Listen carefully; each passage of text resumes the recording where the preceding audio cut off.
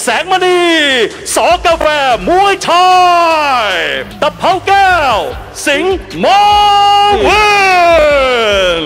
ก่อนหน้านี้มีประเด็นครับพี่เบียร์ตอนแรกให้พี่เขาเลือกน้ำหนักครับ แต่สุดท้ายตกลงร้อยสี่สรุปผมเลือกล้อน้ำหนักนี้ คือตอนแรกเลยผมคุยเล่นๆกับบางทีฟนะครับว่าไม่ร้อยสี่สิบก็ร้อยสี่สิบเอ็ดแต่พอผมซ้อมไปซ้อมมาน้ำหนักผมมันเหลือน้อยอะผมเลยขอมาว่าเอองั้นขอชกร้อยสี่สิบแล้วกันเป็นการสื่อสารที่คลาดเคลื่อน ก็คือสรุปพิกัดที่จะชกกันคือ141ปอนด์ใช่ครับผมเขาให้สัมภาษณ์เขาบอกว่า ถ้าพี่เตะไม่อยู่พี่เสร็จผมแน่เพราะเราเป็นมวยสดด้วยครับ สดตรงนี้ก็มาแรงอยู่ด้วยครับก็เข้าใจเลยว่าสดสดให้เดินมาให้ครบถึง 5 ยกแล้วกันทุกอย่างนะครับพรุ่งนี้